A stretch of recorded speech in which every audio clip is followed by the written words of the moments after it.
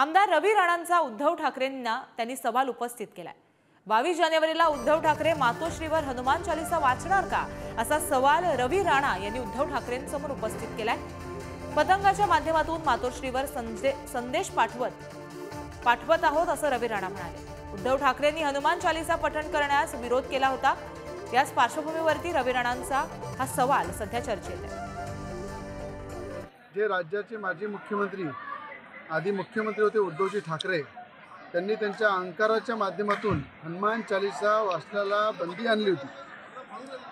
चौदा दिवस जेलमध्ये खासदार नवनीत राणाला आणि मला टाकलं. आज या पतंगच्या माध्यमातून मातोश्रीला आम्ही संदेश देत आहे. की पतंग मातोश्रीला पाठवत आहे भेट देत आहे. की बावीस तारखेला उद्धव ठाकरे मातोश्रीवर हनुमान चालिसा वाचणार का? उद्धव ठाकरेजी आदित्य ठाकरे रश्मिताई ठाकरे हे हनुमान चालिसा वाचतील? आणि खऱ्या अर्थानं बाळासाहेबांचे थोडेसे जरी विचार असतील तर हिंदुत्वाच्या हनुमान चालिसाला वाचून श्रीराम भगवंताला वंदन करतील का नमन करतील का हा माझा प्रश्न आहे.